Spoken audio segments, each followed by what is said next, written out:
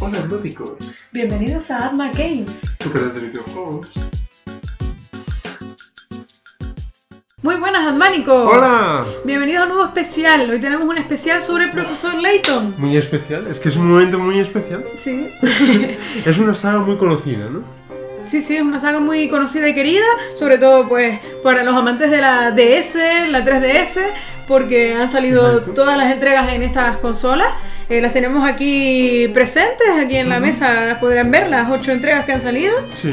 Y bueno, vamos a hablar un poquito sobre esta saga, sobre todo tú que conoces más en profundidad, has jugado a muchos, a todas las entregas. todos, sí, sí, Yo solo he jugado a dos de las entregas y las he completado, pero bueno, puedo dar algún, alguna pincelada de alguna idea que, que me ha surgido Vale. tras jugarlas, ¿no?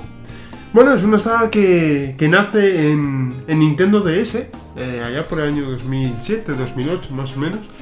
Y es, eh, bueno, prácticamente toda la saga consiste en resolver eh, puzzles, ¿no? Nos encontramos en diversos escenarios con diferentes personajes, aunque los principales son el profesor Layton, de ahí el nombre, y luego, bueno, pues un, un acompañante, Ayuda. ¿no? Un, ayudante, exactamente. un niño que se une a, a este señor, a este profesor, para pues ir descubriendo misterios, que ir resolviendo casos que se van dando. Estamos hablando de Luke eh, Triton, o Luke Triton, o como lo quieran llamar. Y, y bueno, la verdad es que está, está muy bien. Aparecen más personajes a lo largo de, de las diferentes entregas. Y bueno, decir que, que al principio empezó, evidentemente como, como todas, todas las sagas que, que surgen desde el principio, pues parece algo muy sencillo, parece que los puzzles son fáciles de resolver, pero me llevé una sorpresa porque, bueno, yo por lo menos no empecé a jugar la, la saga, toda la saga, desde el principio, sino a partir, no, no recuerdo qué entrega fue la primera, creo que fue la del legado de los Exalanti, Sí. que llegamos a jugarla juntos y en ese momento no la terminamos. Sí. Y luego cabo estuvimos de- jugando los sí. dos que nos pasábamos la consola. Cuando un puzzle no lo conseguía resolver uno, se lo pasaba al otro y lo conseguía y viceversa. Exacto. Y estábamos ahí entre los dos avanzando poco a poco en el juego. luego la dejamos a la mitad Sí. y eh, pues la has retomado y la, la finalizaste completa, ¿no? Exactamente, en orden distinto. ¿no? En orden distinto, eh, sí, no, no seguiste la línea cronológica eh, de, de la saga en sí. Exactamente. Bueno, pues decir que se compone la saga de, de dos trilogías. Tenemos la primera trilogía, que es la del profesor eh, Layton y la Vía Misteriosa, que está de aquí. Luego tenemos eh, el profesor Layton y la caja de Pandora. No sé si se, se verá. Sí. Y luego, por último, tenemos el profesor Layton y el futuro perdido. Vale, esta sería la primera trilogía. Que, bueno, eh, a mi juicio, a mi parecer, mm, no, no tienen eh, entre sí o sea, una historia mm, conectada, o sea, Ujú. más allá de- del origen de los personajes, más información acerca de ellos. Pero no es que tengan tanta conexión como la segunda trilogía, que está formada ya por el profesor Layton y la llamada del espectro, no, el profesor Layton y la máscara de los prodigios que tenemos aquí. Y el profesor Layton y el legado de los Asalani. Ujú. Y luego por medio tenemos otras dos entregas que son, bueno, el profesor Layton versus Phoenix Wright, que sería esta de aquí. Vale, que realmente, bueno, se puede considerar una especie de, no sé si crossover o de mezcla, ¿no? Entre los universos de, del profesor Sí. Layton y, y de Phoenix Wright. Y luego ya por otro lado es como la última, vamos a decir la última entrega ¿no? que ha salido, que es el misterioso caso de, de Layton, ¿no? No recuerdo el nombre. Ah, Y el, el legado de los millonarios. el- Exactamente. La conspiración. Catriel y la conspiración, La de conspiración los de millonarios. Estas dos entregas son las únicas que he completado yo y justamente no, no son de la de las sagas principales, de la, Eh, no, no. de la línea No, principal. exactamente, no, no, no. son como independientes, ¿no? Realmente. Pero está muy bien, puedo decir que, que me han gustado, a pesar de que, bueno, aquí combinan esas Sí. dos franquicias, ¿no? Eh, esa- esos dos personajes tan emblemáticos, porque Phoenix Bright, Bright tiene más historia detrás, tiene... Sí, exactamente. Otra- tiene otra saga, es su saga, ¿no? Pero Sí. Es una saga muy querida. muchos juegos también. Y en este caso, claro, Phoenix Wright es un abogado. O sea, Un estamos hablando de que el profesor Layton es un profesor pues, de arqueología, si no de una universidad eh, ficticia, ¿no? Inventada, evidentemente, para, para la saga. Y, y bueno, pues eso, Phoenix Wright es un abogado. Y este juego, bueno, está este, sí, esta, esta entrega, este, este crossover, esta mezcla de universos es muy recomendable. Muy recomendable porque se intercambian entre sí. En momentos del juego Sí. se intercambian como su. No sé cómo Los, decirlo, pa- sus- los papeles, ¿no? Sus Uy, pasa a ser el profesor un abogado y el abogado un Exacto. profesor. Tin tirin.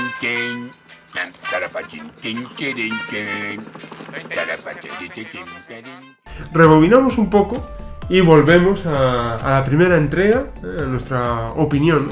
Es una, mm, es una entrega que, claro, vista hoy en día, pues parece ca- carente ¿no? de, de ciertas, eh, de ciertas características que se vieron en las siguientes entregas, pero bueno, es algo comprensible y razonable ¿no? de cualquier saga, porque ha ido siempre increciendo, ¿no? mostrando eh, lugares distintos, puzzles distintos, es increíble porque no recuerdo el número de puzzles, ¿no? Por lo menos en la primera entrega, a ver si lo, Creo que lo por nombra- aquí. Lo nombraba por aquí, en algún Sí, punto. ¿no? más de 130 puzzles. Más de 130, luego aquí te ponía más de 150, pf, aquí tenías más de más de 165. Iban subiendo, Van subiendo la subiendo, va, esto es una burrada. Aquí, claro, más de 170, más de 300. 365.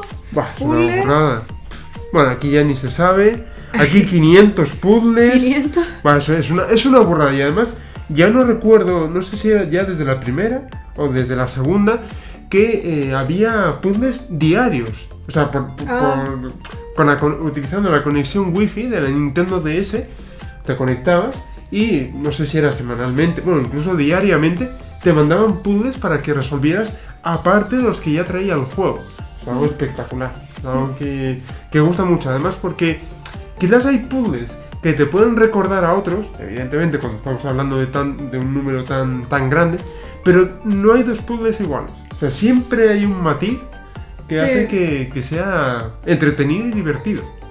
Bueno, la forma de jugar en estos juegos es eh, vas pasando la historia, que al mismo tiempo te van introduciendo con cinemáticas, pequeñas cinemáticas te van poniendo de los juegos, eh, dentro de los juegos, y eh, se basan en pequeñas historias, ¿no? En historias eh, sobre un lugar concreto o sobre viajes en el tiempo, hay alguno también. Exacto. Hay otro de una civilización antigua que tienes que ir descubriendo poco a poco.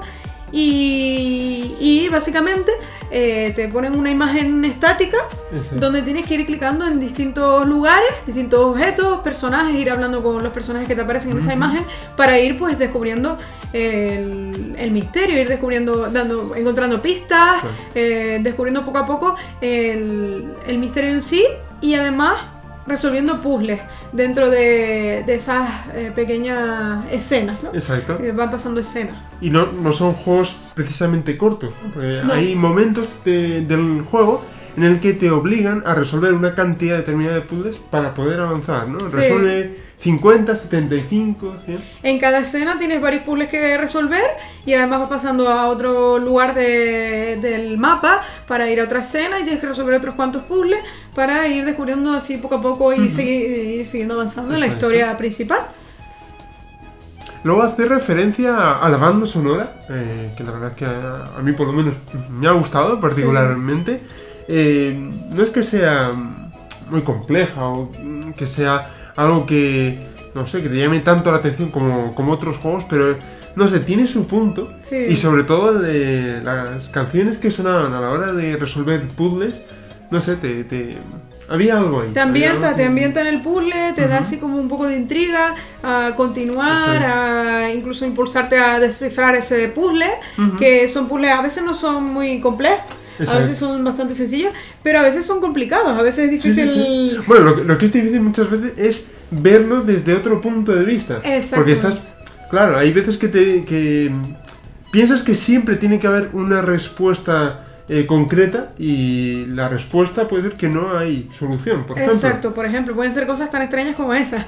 Eso es respecto ya a la jugabilidad, a la forma de jugar, Exacto. porque los puzzles, pues eso, eh, están muy bien pensados, son muy ingeniosos y para un niño, pues puede ser complicado resolverlo, yo creo. Sí, de sí, hecho, nosotros eh, al principio, cuando empezamos a jugar la saga, que empezamos, como dijimos, con el legado de los Ashalanti, eh, muchos de los puzzles eh, decía yo, esto lo resuelve un niño, si es que no, no tengo ni idea. Un cálculo matemático complicado, extraño. Difícil de deducir, Hmm. pero también es verdad que los niños tienen a lo mejor más eh, Sí. capacidad creativa, capacidad de eh, pues salirse del mapa, de salirse de la respuesta eh, típica y a lo mejor lo pueden resolver más fácilmente. Pero sí es verdad que cuando a lo mejor eres más adulto, eh, te parece que, que es un mundo, que es muy complicado resolverlo, salirte de esa, de esa típica respuesta Sí. que darías a 2 más 2, que es igual a 4. Y a lo mejor el más no era un más, sino que era una multiplicación que estaba con un símbolo extraño y era un Exacto. 4, era un 8 o era un... Sí. No sé, puede ser cualquier cosa. Luego, por ejemplo, tenemos, tenemos los eh, picarats, es como una especie de, como de moneda que, que conseguimos cuando resolvemos los puzzles, ¿no? Entonces, al principio, si lo resolvemos sin ningún tipo de consejo, nos dan, o, o fallo, ¿no? O equivocación. Si lo hacemos a la primera, bien, pues nos dan a lo mejor 20, 20 o 25 picarats. Y luego, eh, eso lo podemos utilizar para, exactamente, pedir pistas para algún puzzle quizás más complicado. Y entonces podemos eh, resolverlo sin, sin necesidad de estar a lo mejor mucho tiempo dándole ahí a, Al coco. Hasta aquí este especial del profesor Layton. queríamos, quer- queríamos comentar sobre esta saga. Eso sí, eh, recomendarla, que Por supuesto. desde luego nos parece un juego muy interesante. No piensen que es infantil porque sea No. de la DS, de No, no, una no. consola así, pues muy eh, tan portátil, tan portátil y tan utilizada por niños. Yo creo que hay que darle una oportunidad y probar alguno de estos juegos para que vean que hay que darle ahí, machacar la mente y exprimirla para resolver todos estos puzzles. Exactamente. Así que Y a ver para, para cuándo una siguiente entrega ¿no? de, Sí. la, de la saga, que hay rumores, hay intención por parte de, de Level 5. es la A ver si se animan con. Nintendo Switch, que también es portátil. Ver, Eh, sería un puntazo, estaría muy bien. Hasta mañana. ¡Hasta mañana! No dejéis de jugar y no dejéis de vivir. La verdad que este eran más complicados que complicados, ¿eh? Sí, Ya no recuerdo. Creo que incluso los de la primera eran más difíciles que los siguientes. Pues Me quedé- seguramente.